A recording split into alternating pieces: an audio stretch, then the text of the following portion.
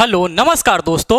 मैं आपका दोस्त, मैं आपका गाइड मैं आपका मेंटर रोनित चौरसिया। साथियों, एक नए वीडियो और एक नए ऑफिशियल अपडेट के साथ आपके सामने आ रहे हैं। जी हाँ साथियों, आपको ये हमारे बैकग्राउंड में शो हो रहा है। हम Chhattisgarh assistant public prosecutor officer के बारे में हम यहाँ पे बात करने वाले हैं। इसी से रिलेटेड बुक पब्लिश किया गया है law success and Vidhi Bharati publication के द्वारा। इसी बुक के बारे में हम डिटेल रिव्यू करने वाले हैं आपके सामने। जी हाँ साथियों एक एक करके हम इस बुक के बारे में हम आपको यहाँ पे इंफॉर्मेशन शेयर करने वाले हैं। सबसे तो पहले आप देख लीजिए, अगर भाग की हम बात करते हैं पार्ट की बात करते हैं तो ये बुक का कौन सा पार्ट है साथियों? तो ये बुक का जो पार्ट है, इसका नाम दिया गया है 39 ए इसका नाम दिया गया है। आप यहाँ पे पब्लिकेशन हाउस का नाम देख लीजिए कि ये law success and Vidhi Bharati publication के द्वारा इसको बनाया जाता है। तो आपने ये भी यहाँ पे ऑब्ज़र्व कर लिया। अब आगे चलते चलिए और देखते चलिए। ये किसके अकॉर्डेंस में साथियों? तो ये जो किताब आपको बनाई गई है, ये Chhattisgarh assistant prosecution officer examination के के हिसाब से बनाई गई है। और ये किताब सिर्फ़ और सिर्फ़ एक लैंग्वेज में नहीं, बल्कि दोनों लैंग्वेजेस में बनाई गई हैं, Hindi as well as English सबसे पहले मैं आपके सामने इंग्लिश का बुक दिखाना चाहता हूँ। हार्ड कॉपी में मैं आपके सामने इंग्लिश का बुक रख रहा हूँ। जी हाँ साथियों, यही बुक है और इसी बुक के बारे में हम यहाँ पे डिटेल एनालिसिस करने वाले हैं कि इस बुक के अंतर्गत कौन कौन सा मटेरियल आपके लिए प्रोवाइड किया गया है। इन्हीं सभी मटेरियल्स के बारे में हम एक एक करके यहाँ पे बात करने वाले हैं कि क्या क्या इसके सिलेबस के अंतर्गत आता है। तो साथियों, अब आप स्टार्ट हो जाइए और देखते रहिए। यहाँ पे आपको देखने के लिए मिल रहा होगा minor act and local law की बात करते हैं। किसकी हम बात कर रहे हैं दोस्तों? तो हम बात जो कर रहे हैं, वो माइनर लॉ की बात कर रहे हैं। किसकी बात कर रहे हैं? माइनर लॉ की बात कर रहे हैं और साथ ही साथ जो बात कर रहे हैं, हम लोकल लॉ की बात कर रहे हैं। अब इस किताब के अंतर्गत आपको क्या क्या देखने के लिए मिलेगा? अब हम इन सभी चीज़ों को यहाँ पर देखेंगे। तो सबसे पहले आपको क्या देखने के लिए मिल है दोस्तों? आपको वन लाइनर देखने के लिए मिलेगा, साथ ही साथ ऑब्जेक्टिव क्वेश्चन बैंक आपको देखने के लिए मिलेगा। तो दोनों चीज़ आप देखते हुए चलेंगे कि वन लाइनर क्या होता है? किसको हम लोग वन लाइनर कहते हैं और किसको ऑब्जेक्टिव टाइप का क्वेश्चन कहते हैं? ये दोनों के दोनों चीज़ आपको यहाँ पर देखने के लिए मिलेगा। सबसे पहले हम देख लेते हैं कि इस बुक में आपको क्या क्या दिया गया है। अगर माइनर एक्ट के तौर पर दिया गया है तो कौन कौन सा माइनर एक्ट दिया गया है? लोकल लॉ की अगर हम बात करते हैं तो कौन कौन सा लोकल लॉ दिया है? तो सबसे पहले हम देखेंगे कि राइट टू इंफॉर्मेशन एक्ट 2005 का है और यहाँ से आपके एग्जामिनेशन में क्वेश्चन पूछा जाता है। इसीलिए आप देखेंगे दोस्तों कि यहाँ पे राइट टू इंफॉर्मेशन एक्ट आपके लिए देखने के लिए मिल रहा है।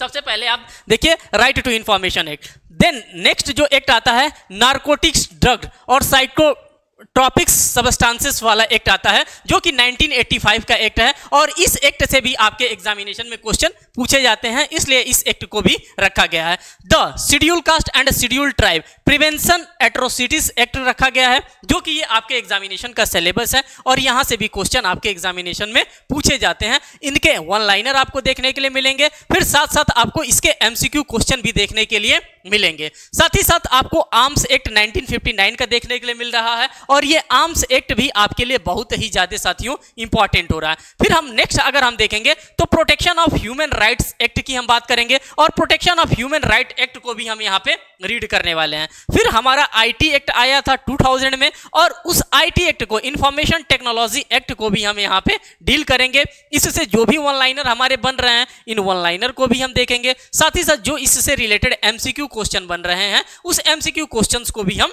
डील करेंगे। फिर अनलॉफुल एक्टिविटीज़ 1967 की हम बात करते हैं। तो साथियों, यहाँ पे अनलॉफुल एक्टिविटीज़ भी हमारे लिए उतना ही इंपॉर्टेंट हो जाता है, जितना कि अदर लॉ हमारे लिए इंपॉर्टेंट हो रहे हैं। फिर food safety and standard act की हम बात करेंगे, जो कि 2006 में डाला गया था और यहाँ से भी आपके एग्जामिनेशन में क्वेश्चन पूछा ही जाता है। साथ ही साथ the legal service authority act 1987 की हम बात करते हैं। इसमें chapter number three four and six जो है आपके लिए बहुत ही इंपॉर्टेंट है। जो जो चीज़ें इंपॉर्टेंट है साथियों, उसी के अकॉर्डिंग्स में आपको चीज़ें यहाँ पर देखने के लिए मिलेंगी।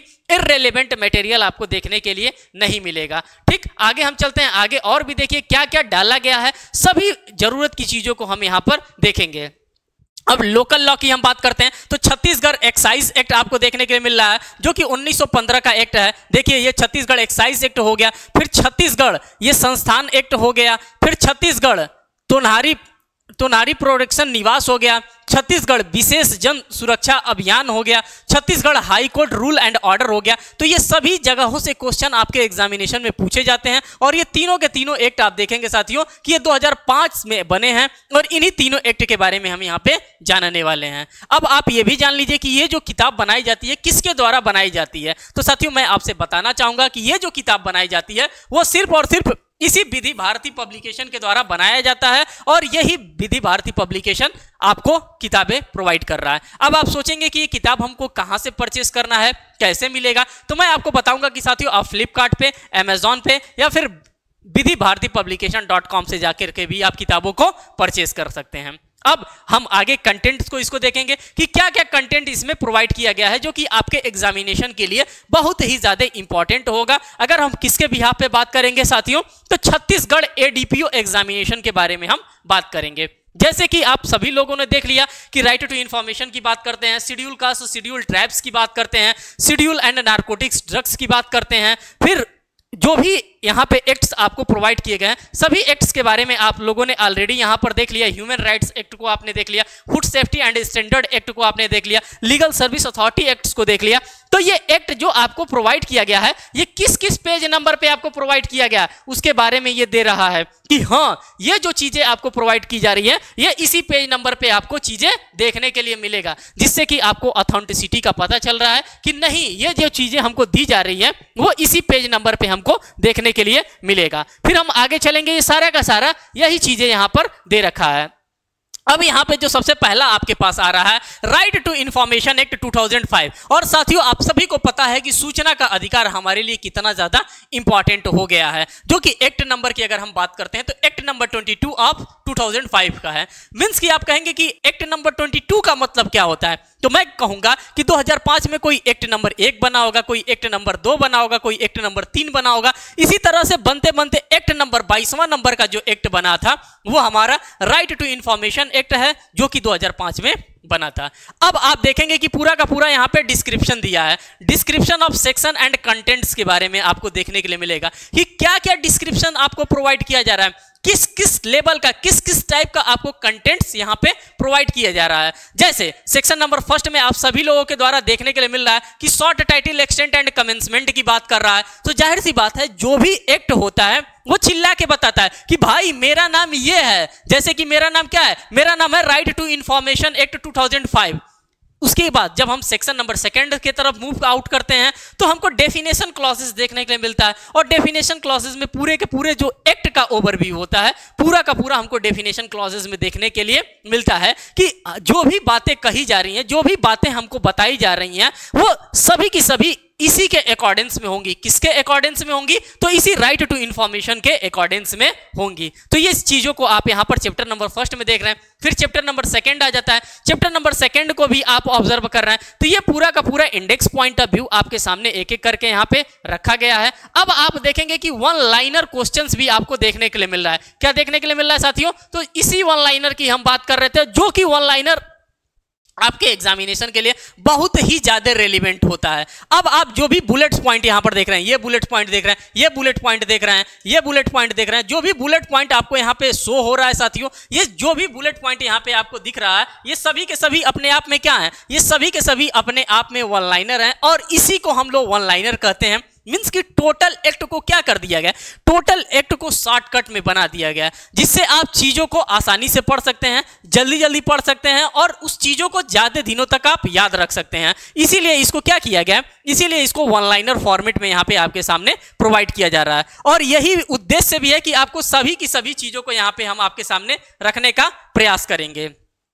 ठीक, अब आगे हम चलते चल रहे हैं। आगे अब देखते हैं, इसमें आपको लिए हम एमसीक्यू क्वेश्चन भी यहाँ पे शो करने वाले हैं। आपने वन लाइनर पूरा देख लिया। अब देखिए, यहाँ पे ऑब्जेक्टिव क्वेश्चन बैंक की हम बात करते हैं, जो कि राइट टू इंफॉर्मेशन एक्ट 2005 से ही रिलेटेड है। और ये सारा का सारा मटेरियल मैं आपके लिए इंग्लिश लैंग्वेज में लेकर के आया हूँ। अब ऑब्जेक्टिव क्वेश्चन बैंक को देखिए, जो कि राइट टू इंफॉर्मेशन एक्ट 2005 से ही है। जैसे फ़र्स्ट क्वेश्चन की अगर हम बात करते हैं तो RTI act is divided into सबसे तो पहले आपको पता होना चाहिए कि जो राइट टू इंफॉर्मेशन एक्ट है हमारा, वो कितने चैप्टर्स में कितने नंबर ऑफ़ सेक्शंस में इसको डिवाइड किया गया है, ये सारी जानकारी आपके पास एट दैट टाइम होना चाहिए जब आप अपने प्रिलिमिनरी एग्जामिनेशन को दे रहे हैं। किसी भी एग्जामिनेशन में, चाहे वो एपीओ का एग्ज़ाम हो, चाहे एडीपीओ का एग्जामिनेशन हो, किसी भी एग्जामिनेशन में एज अ सिलेबस के रूप में रखा गया है और खास करके लॉ के पोर्सन में रखा गया है तो ये चीज़ें आपको जानना बहुत ही इंपॉर्टेंट होता है और इसीलिए इन सभी चीज़ों को एक एक करके आपके सामने दिया गया है। साथ में उसका आंसर भी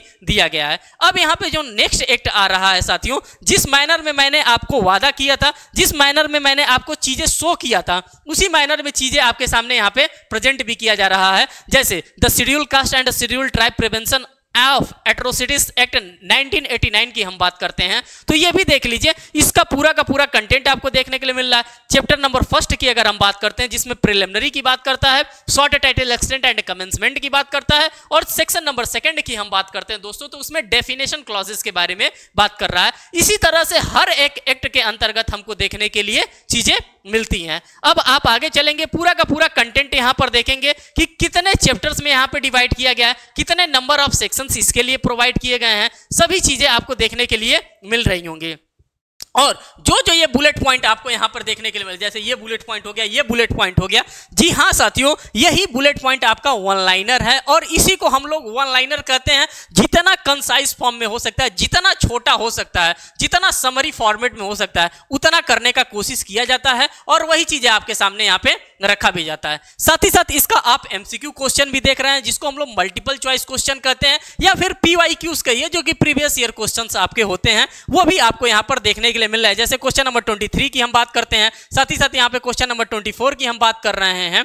तो ये सभी के सभी आपके क्या हैं? ये सभी आपके मल्टीपल चॉइस क्वेश्चन के अंतर्गत कवर किए जाते हैं। अब आप देखिए नारकोटिक्स ड्रग्स की हम बात कर रहे हैं और नारकोटिक ड्रग्स भी आपके लिए बहुत ही ज़्यादा इंपॉर्टेंट हो जाता है। अब इसमें चैप्टर नंबर अगर हम फ़र्स्ट में देखते हैं साथियों तो हमको चैप्टर नंबर फ़र्स्ट में प्रिलिमिनरी देखने के लिए मिल रहा है और प्रिलिमिनरी में यहाँ पे हमको टोटल तीन सेक्शन देखने के लिए मिल रहा है। कौन कौन सा सेक्शन तो सबसे पहले short title extent and commencement की बात करते हैं। नेक्स्ट में हम डेफिनेशन क्लॉजेस की बात करते हैं। और जो हमारा सेक्शन नंबर थर्ड है पावर टू एड और अमिट और omit from list of the साइट्रो साइट्रोटिप्स substances की बात यहाँ पे कर रहा है। तो ये सभी चीज़ें आपके सामने हैं और सभी चीज़ों के बारे में आपसे क्वेश्चन पूछा जाता है। तो इसी तरह से ये चीज़ों को आप यहाँ पे ऑब्ज़र्व करते हुए चलिए। फिर आप कहेंगे कि इसका वन लाइनर मैं आपके सामने शो करूँगा। तो फिर वन लाइनर भी मैं आपके सामने लेकर के आ रहा हूँ। ये पूरा चैप्टर का ग्लांस है इंडेक्स है, जो कि आपके सामने एक एक करके शो कर रहा हूँ। जैसे, जो भी चीज़ें आपको यहाँ पर देख रही है इस बुलेट फॉर्मेट में, जी हाँ साथियों, इसी बुलेट फॉर्म के माध्यम से मैं आपके सामने क्या कर रहा हूँ, चीज़ों को प्रेजेंट कर रहा हूँ, और इसी को हम लोग वन लाइनर कहते हैं। तो इन टोटैलिटी अगर हम आप लोगों से बताना चाहेंगे तो इस किताब में जितना मटेरियल आपको इंडेक्स पे यहाँ पे शो किया गया है, जितना इसके कवर पेज पे शो किया गया है, वो सारा का सारा मटेरियल आपको इस किताब के अंतर्गत देखने के लिए मिलेगा। साथ ही साथ अगर हम एमसीक्यू की बात करते हैं मल्टीपल चॉइस क्वेश्चन की बात करते हैं तो मल्टीपल चॉइस क्वेश्चन भी आपके सामने यहाँ पर देखने के लिए मिल रहा है। हर एक टाइप का मल्टीपल चॉइस क्वेश्चन आपको यहाँ पर देखने के लिए मिलेगा, जो कि आपके अपकमिंग एग्जामिनेशन के लिए साथियों बहुत ही ज़्यादा इंपॉर्टेंट होने वाला है। ठीक, आगे हम चलेंगे, फिर नेक्स्ट एक्ट को देखेंगे कि कौन कौन सा एक्ट है। इसी तरह से पूरे किताब को बनाया गया। अब यहाँ पे आप देख रहे हैं आर्म्स एक्ट 1959 की हम बात कर रहे हैं। इसमें भी आप चैप्टर नंबर फ़र्स्ट को देखिए और उसके बाद से चैप्टर नंबर सेकंड को देखिए। जो जो चीज़ें पॉसिबल जो चीज़ें हो सकती हैं, उन सभी पॉसिबल चीज़ों को यहाँ पे रखने का काम किया गया है, एक एक करके। साथ ही में वन लाइनर भी आपके लिए यहाँ पे बनाया गया है। पूरा का पूरा आप वन लाइनर पढ़िए। वन लाइनर को पढ़ने के बाद आप अपने एमसीक्यू क्वेश्चंस को सॉल्व करिए और एमसीक्यू क्वेश्चंस के बाद आपको पता चल जाएगा कि हाँ आप कहाँ पर थे और अब किस लेवल पे अब आप ग्रो कर गए हैं इस किताब को पढ़ने के बाद, या फिर इन सभी मेटेरियल्स को आप तैयार करने के बाद? आपको एक जगह कभी भी इस टाइप के मटेरियल देखने के लिए नहीं मिलेंगे। लेकिन ये हमारा पब्लिकेशन है, विधि भारती पब्लिकेशन है, ये आपका पब्लिकेशन है, और आपका पब्लिकेशन आपके लिए सोचता है और ये चीज़ें आपको प्रोवाइड भी कर रहा है। The production of human right act 1993 की अगर हम बात करते हैं तो यहाँ से भी रिलेटेड आपको पूरा का पूरा मटेरियल आपको देखने के लिए मिलेगा। अब आप आगे चलते चलिए। इसी तरह से पूरे किताब को डिज़ाइन किया गया, पूरे किताब को बनाया गया। कोई ऐसा चीज़ नहीं है जिसको कि छोड़ने का काम किया गया। जी हाँ साथियों, बिल्कुल किसी भी चीज़ को छोड़ा नहीं गया है। इस किताब की यही खासियत है। अब यहाँ पे आईटी एक्ट की हम बात कर लेते हैं इंफॉर्मेशन टेक्नोलॉजी एक्ट की भी बात कर लेते हैं। इसको भी रखा गया है। जो जो चीज़ कमिट किया गया है किताब के कवर पेज पे, वो सारी चीज़ें आपको यहाँ पर देखने के लिए मिलेंगी। और हमारा भी यही उद्देश्य है कि साथियों, जितना ज़्यादा से ज़्यादा हो सके, उस ज़्यादा से ज़्यादा मटेरियल को आपके लिए शेयर किया जाए। अब आप यहाँ पर देखेंगे इस किताब की खूबसूरती क्या है। जो जहाँ से इंपॉर्टेंट होगा चैप्टर वाइज दे दिया है। क्या दिया है? Chapter one two three four nine eleven and thirteen दे दिया है। और इस चैप्टर से चीज़ें आपको देखने के लिए मिलेंगी। ज़्यादा अमाउंट में यहाँ से क्वेश्चन बनता है। इसीलिए इस चीज़ को यहाँ पे रखा गया है। तो जितने भी हमारे इंग्लिश के दोस्त हैं, जिनको लग रहा था कि नहीं, इस टाइप की किताबें हमारे पास छत्तीसगढ़ असिस्टेंट का आना चाहिए था तो उनके लिए यहाँ पे किताबें प्रोवाइड की जा रही हैं। साथियों, ये था आज का टोटल इन्फॉर्मेटिव वीडियो ये मैंने आपके लिए बनाया। मैं आपको शेयर भी कर रहा हूँ। और साथियों, अब आप लोगों से भी उम्मीद करूँगा कि आप लोग भी अपने फ्रेंड सर्कल में इसको ज़रूर शेयर करिएगा। और जितना हो सके, उतना आप इसको शेयर करने का काम करिएगा। इसके बाद भी अगर आप लोग का कोई कमेंट आता है तो साथियों, हमारा कमेंट सेक्शन ओपन होता है। आप कमेंट सेक्शन में कमेंट भी कर सकते हैं। फिर मिलेंगे एक नेक्स्ट वीडियो में, एक नेक्स्ट अपडेट के साथ। तब तक के लिए धन्यवाद।